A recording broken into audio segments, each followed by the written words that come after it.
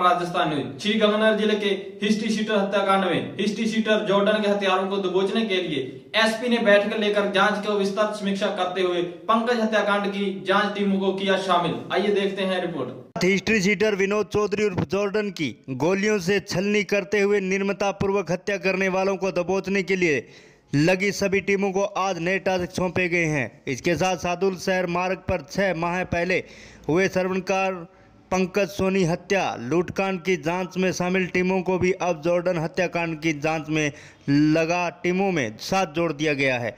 दोनों हत्याकांड में कुख्यात गैंगस्टर लॉरेंस बिश्नोई के खास गुर्गे अंकित भादु का नाम सामने आने के कारण एसपी ने यह कदम उठाया है। इससे पहले पुलिस कप्तान हरेंद्र महावर ने जॉर्डन हत्याकांड की जाँच टीमों के प्रभारियों की पुलिस लाइन सभागार में शुक्रवार को बैठक लेकर अब तक हुई जाँच व जुटाए गए तथ्यों की समीक्षा की है।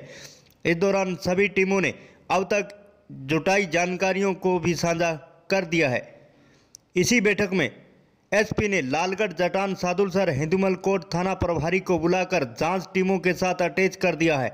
बताया गया है कि बैठक में जॉर्डन हत्याकांड को तीन दिन होने के बावजूद अभी तक कोई ठोस कार्रवाई या प्रगति नहीं होने पर भी नाराज़गी जताई गई है। बैठक के बाद कई टीमों को पंजाब व हरियाणा में गैंगस्टरों के गुर्गों की तलाश में भेजा गया है।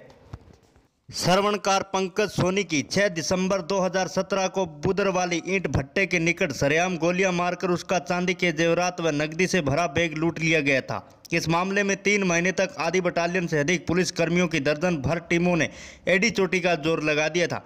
लेकिन हथियारों का कोई सुराग नहीं लगा। इसी बीच लगभग तीन माह पहले सीतो गुन्नों के नज़दीक पेट्रोल पंप लूट की वारदात में आरोपितों को पंजाब पुलिस ने पकड़ा तो उन्होंने पूछताछ में पंकज सोनी हत्याकांड करना स्वीकार कर दिया अनेक सनसनीखेज खुलासे किए गए थे।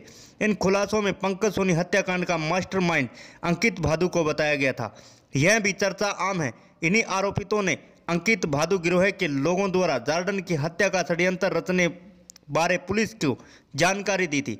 इसके बाद लोनेस बिश्नोई की तरफ़ से जार्डन को धमकी दिए जाने के बारे में पुलिस को अधिराग तौर पर अवगत करवाया गया था। तो पहले पूछताछ में हुए खुलासे की पुष्टि हो गई थी।